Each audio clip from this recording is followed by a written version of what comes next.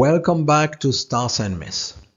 After the episode on modeling, let's start a new chapter focusing on the Pleiades. We'll begin with a motif whose distribution is not random, but most likely the result of history. The episode is named The Chicken and Egg Problem. Investigate a motif the Pleiades as a hen with its chicks that appears to have traveled across continents with a domesticated chicken out of its homeland in Southeast Asia. In the map, each red dot represents one occurrence of the Pleiades as a hen with chicks. The motif is found in Europe, Southeast Asia, and West Africa, three disconnected regions. The map also represents other Pleiades as a flock of birds motif in blue, and the motif of the Pleiades as a duck in a nest is found in northern Eurasia, marked with cyan dots. Unsurprisingly, birds are often associated with the sky, but it seems to be particularly the case with the Pleiades. The first written mention of the Pleiades as bird is believed to be in ancient Greece. Zeus, to save the seven sisters from Orion, first turned them into a flock of doves and only then into stars. This metamorphosis is preserved, for example, in the first century AD Latin compilation by Hyginus. I've overlapped here the archaeological data on the propagation of the domesticated animal by Peters. Each red point corresponds uh, to some find. And I've added the Pleiad as a hen with its cheeks in black. The first cluster of stories is found in Southeast Asia, where domestication likely occurred about 5,200 years ago. Chicken domestication was relatively late compared to that of other animals, and according to DNA studies, it might have occurred in multiple locations. Archaeological finds enable us to trace the spread of the domesticated chicken over the next years reaching China, India, Mesopotamia, Europe, and Africa.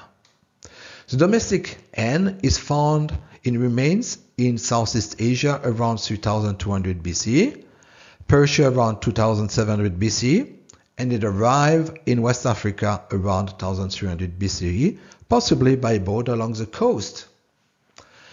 The striking correlation between the motif's location and the chicken ancient diffusion routes is a starting point of our investigation.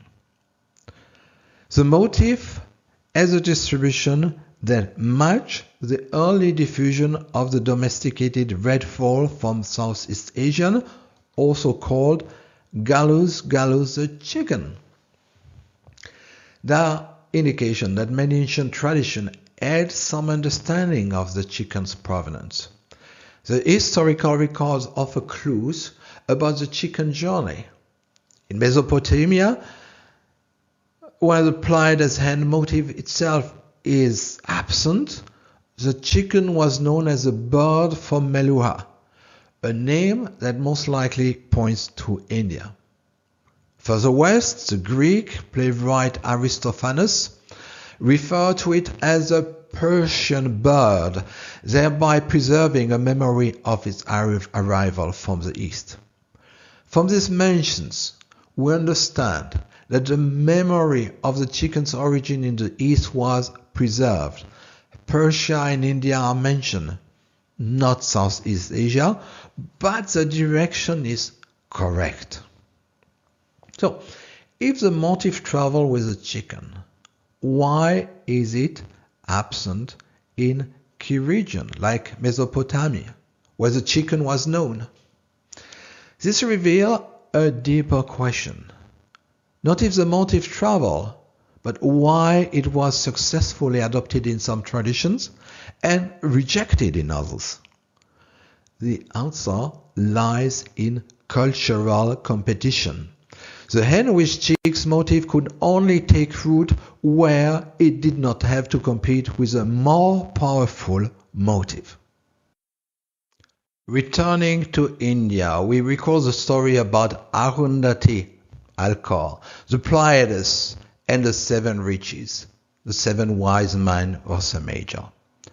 In the Mahabharata, the story about the Pleiades is extended. To make a long story short, Agni, the fire god, fell in love with the sage's wife. On the other hand, Swaha was in love with Agni a complex situation.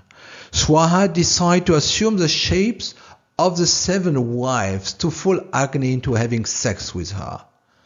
Skanda was born from that union with six heads, the number of Pleiades. The rooster is a symbol of Skanda, the war god. Even nowadays, the rooster is on Skanda's banner. In the story, the rooster is directly related to the Pleiades.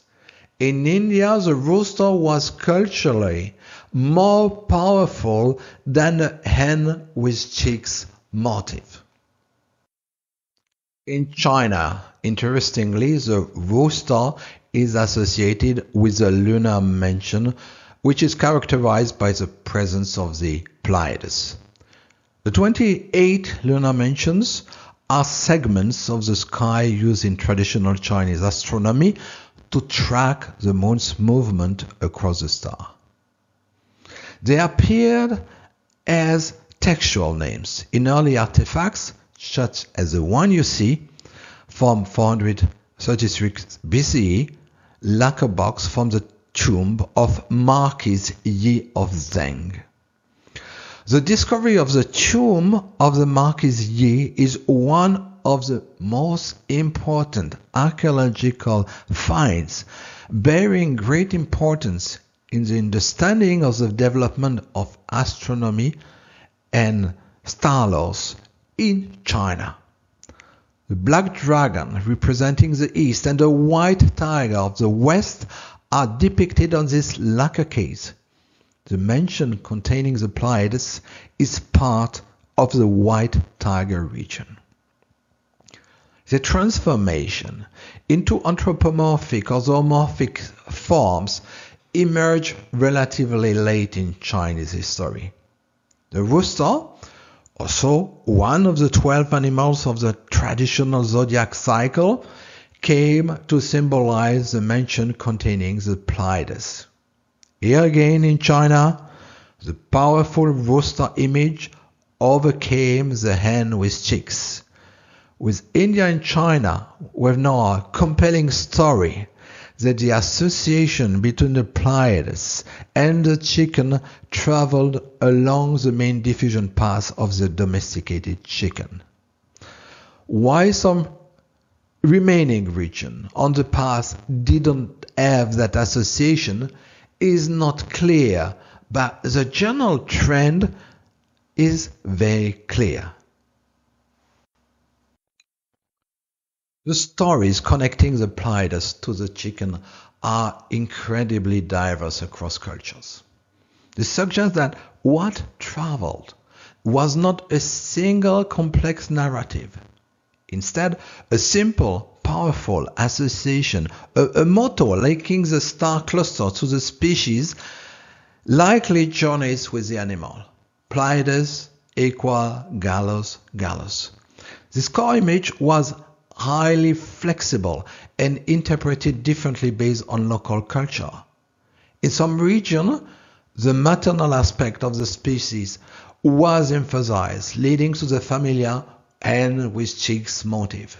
In others, like India and China, the powerful symbolism of the male was dominant, creating a strong rooster pleiades connection that overshadowed or replace any focus on the hen. In our next episode, we'll compare the importance of skylaws among tradition and their practical aspect to navigate, know the time, and season. And here again are a few academic references if you want to dig into that topic further. See you next time. Bye bye.